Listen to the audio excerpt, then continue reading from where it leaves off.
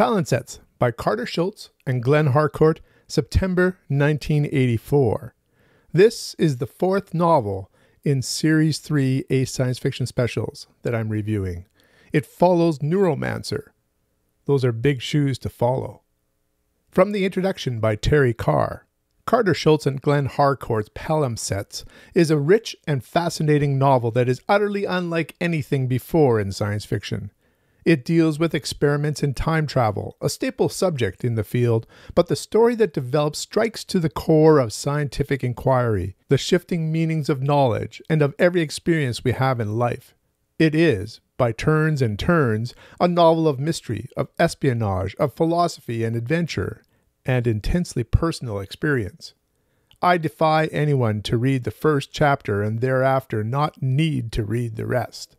The Random House Dictionary defines palimpsests as a parchment or the like from which writing has been partially or completely erased to make room for another text. You'll see how well the title fits this novel.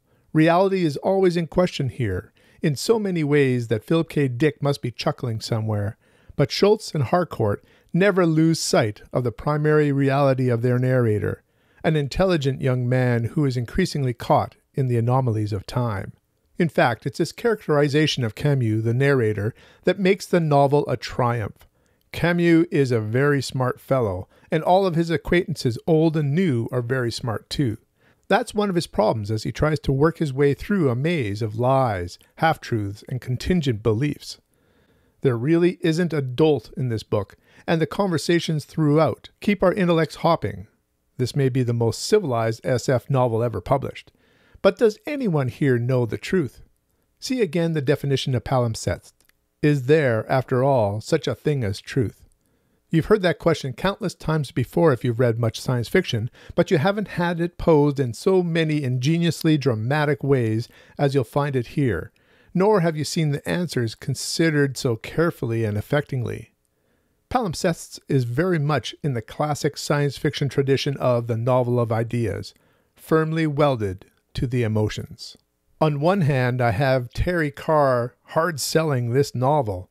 On the other hand, I know that this is the sole printing of palimpsests.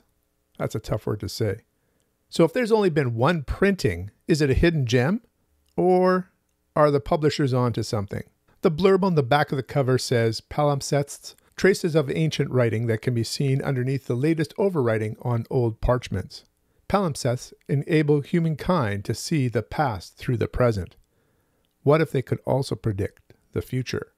Barry N. Malzberg says, Carter Scholz's short stories, which have been appearing since 1977, have convinced me that he is the best writer ever to do a body of work within genre science fiction. And his first novel, collaborative or otherwise, has to be a significant event. To me, that says that Barry hasn't read this book and is simply giving a blurb that he owed to Terry Carr. A 2 centimeter cube of unknown material has been found along with a Neanderthal skeleton at an archaeological dig near Dusseldorf. The protagonist, Hans Camus, discovers something that should not belong in the dig. The substance that this 2 centimeter cube is made of is unknown. Is this cube from the future? Does this mean that time travel is possible? What is the cube capable of? Unknown forces try to gain access to this cube, and Camus goes on the run. There's a lengthy portion as he makes his way across the United States with his girlfriend. Part espionage, part very personal accounts of a relationship. The novel moves in the final third to Alaska to try to figure out what is happening with this cube. Is this cube something that can be used for time travel? The premise sounds really interesting.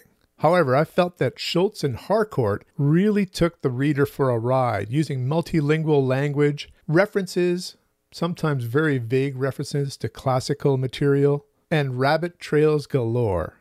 Perhaps a strength in their writing is when they were exploring the emotional relationships of Camus. But when it came to the science fiction elements, I found it very confusing. Carter Scholz wrote a lot of short fiction and another novel. Glenn Harcourt, as far as I can tell, never wrote another science fiction novel. So is this one worth reading? In my opinion, it's a difficult and unrewarding read. If I wasn't being disciplined in reading through the Ace Science Fiction Specials Series 3, I doubt I would have even finished this novel. I think there really is a good reason that this is the only printing of this novel. I give it 4 out of 10.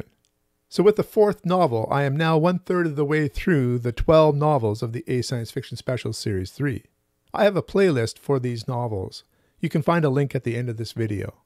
So, this was a steep fall from the cyberpunk masterwork of Neuromancer. What's next? Them Bones by Howard Waldrop. We'll see if this is a better read than Palimpsests. So, has anyone come across this novel? What are your thoughts? Let me know in the comments below. Until next time, keep reading.